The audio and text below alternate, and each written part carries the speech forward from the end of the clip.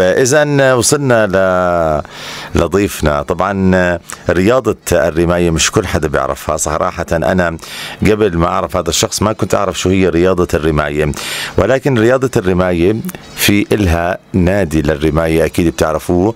نادي الرماية الملك الموجود بجنوب عمان.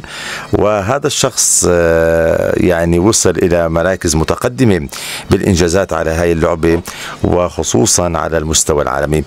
بنرحب بصديقي أول شيء أحمد طربيشي مساء الخير. مساء الخير. أيوه. هم غلطانين بال كيفك أحمد؟ شو أخبارك؟ هلا والله تمام. كيف شايف إن مزاج الأجواء؟ أول مرة أنت على الراديو. مية مية. أنت ملك التلفزيونات كل شوي بنلاقيك بدقيقة على التلفزيون.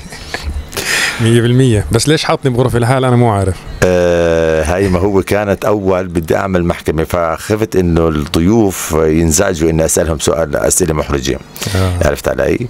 وأنا بتعرف بعمل دي جي وكذا كله مع بعضه فبقدرش أترك وأجي جنبك. عادي يعني المناي نقعد سوا. عيني شايفك على التلفزيون خلاص بنسى. طيب أحمد طرابيشي. أحكي لنا شوي عن حالك يعني أو حد أحكي لنا كمان كيف هيك بلشت وهي لعبة الرماية شو هي لعبة أو رياضة الرماية شو هي؟ خليه يسمعوا المستمعين.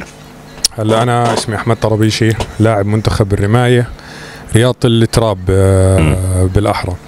هلا آه رياضة الرماية شوي آه زي ما بتعرف مظلومة آه. اعلاميا زي ما حكيت أنت مش كتير ناس بتعرف هذا الإشي بتوقف مع حدا بتحكي له رماية. ومعروف عندنا سلة قدم 100% يد كذا بس رماية ما بيعرفوها بصير يقول لك غريب عندنا منتخب رماية. إحنا ليه؟ لأنها شوي توقفت هاي لمدة 20 سنة صراحة الرياضة عندنا ورجعت تقريبا بال 2018 وإحنا كنا هذا هو المنتخب اللي تشكل تقريبا بشهر 3 2018 أوكي. ف يعني عارف انت هاي الفترة اللي قطعت خلص بتبعد هذا الإشي عن الساحة وخلص بطل حدا يسمع بهاي الرياضة ما في إنجازات ما في ولا إشي لا محلي ولا دولي ولا ولا إشي فخلص بتختفي هاي الرياضة.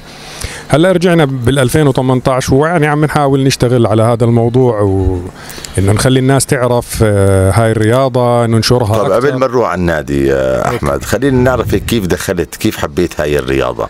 هل كيف انجذبت لها يعني الناس بتنجذب للسله للقدم لليد ممكن لكمال الاجسام يعني بس هي يعني صعبة مش أي حدا بيعملها. 100% هذا هذا كمان إذا بتلاحظ هلأ إحنا الشباب الموجودين بالمنتخب أو اللي حتى عم بروحوا على نادي الرماية آه زي ما أنا بلشت معي يعني كلياتنا تقريبا نفس القصة. أنا والدي كان برضه من الرماة اللي هو قبل تقريبا ال 20 شو اسم الوالد؟ ذكرني فيه. زهير طربيشي من وجه تحية للأستاذ زهير. أكيد بسمعنا آه.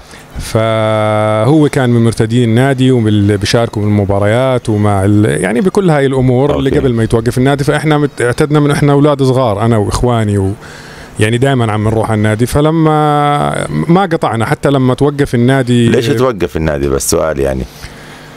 هلا صار شوية مشاكل كانت الميادين فيها صيانة مش صيانة يعني كانت أوكي. أمور شوي ما بعرف المفروض إذا جواب دبلوماسي. منيح. طيب كمل. ماشي. طيب هلا رجعت هاي الرياضة بأنو سنة؟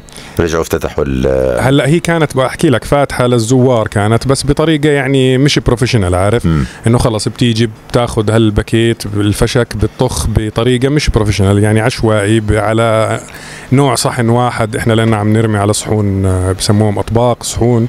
أوكي. فما بيكون إشي professional يعني خلص تسلاي بيجي هالواحد بطخهم بعشر دقائق وبيروح ما في ما في نوع ممارسة رياضة اللي هي ال professional اللي هي ال trap وال skeet اللي هم رياضتين الأولمبيات. أوكي.